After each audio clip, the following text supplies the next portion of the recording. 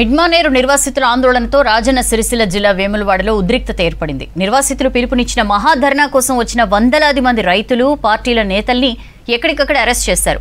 పరిహారం చెల్లించాలనే డిమాండ్తో మిడ్మానేరు ముంపు బాధితులు మహాధర్నా చేపట్టారు. ఈ టైంలో పోలీసులు నిర్వాసితులకు మధ్య తీవ్ర వాగ్వాదంతో ఉద్రిక్తత ఏర్పడింది. కొంతమంది నిర్వాసితులు పోలీసుల వాహనాలకు అడ్డుగా కూర్చున్నారు. నిర్వాసితుల్ని పోలీసులు ఎక్కడికక్కడే అరెస్ట్ చేసి స్థానిక పోలీస్ స్టేషన్లకు తరలించారు.